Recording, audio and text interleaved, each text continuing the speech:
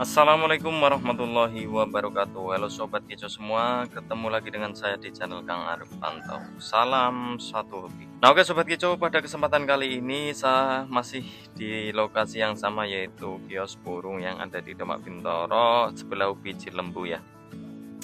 Dan kali ini ya kita akan membahas burung yang satu ini Yaitu burung opior Jawa ya? Yang mana burung opior Jawa tersebut ini memang selalu menarik untuk kita bahas ya. Karena ada banyak sekali kelebihan-kelebihan yang dimiliki oleh burung opior Jawa ini sendiri ya.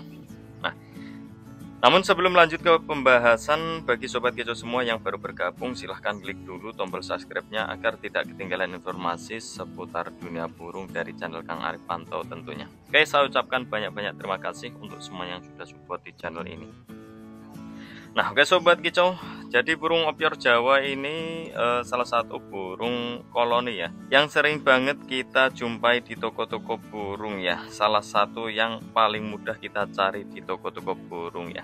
Nah, Akibat dia mudah dicari ya, dan stoknya pun selalu ada, populasinya pun e, tidak terancam ya, alias masih mudah sekali dicari di hutan-hutan ya. Oleh sebab itu, burung opior Jawa ini dikenal burung yang sangat murah ya.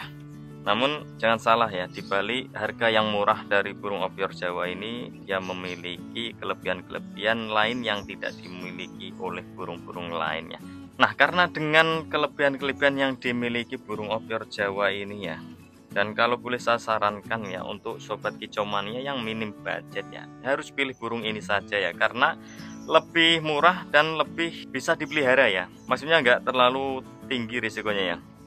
Nah, mengapa sobat kicau semua ini harus pilih burung opior Jawa untuk dijadikan peliharaan di rumah ya, bukan masteran ya? Karena kalau kita buat masteran di rumah burung oper Jawa ini harus bisa materi burung-burung lain dulu ya baru bisa kita buat burung masteran gitu ya.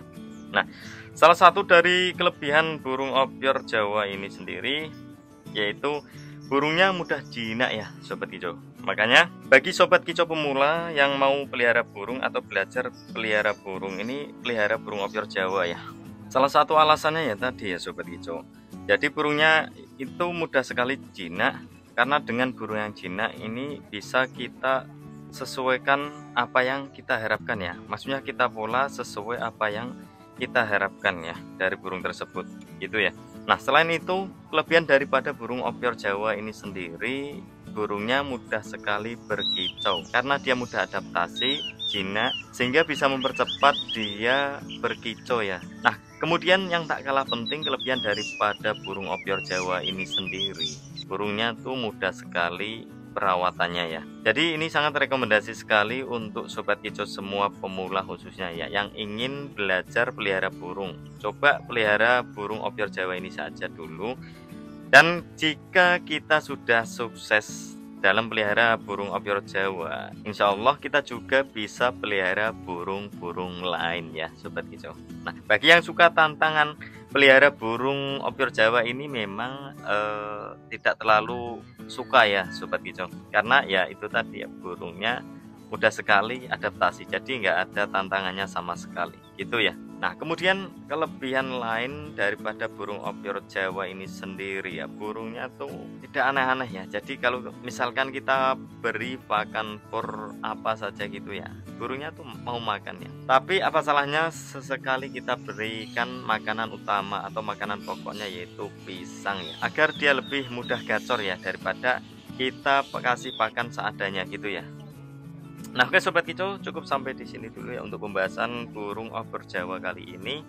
Mudah-mudahan dengan adanya video kali ini dapat memperluas wawasan sobat kicau semua tentang dunia burung khususnya burung over Jawa kali ini. Nah, cukup sekian video kali ini. Sampai jumpa di video-video berikutnya dari channel Kang Arif Panto. Jangan lupa untuk tinggalkan like, komen, dan subscribe. Selamat beraktivitas kembali. Salam satu hobi.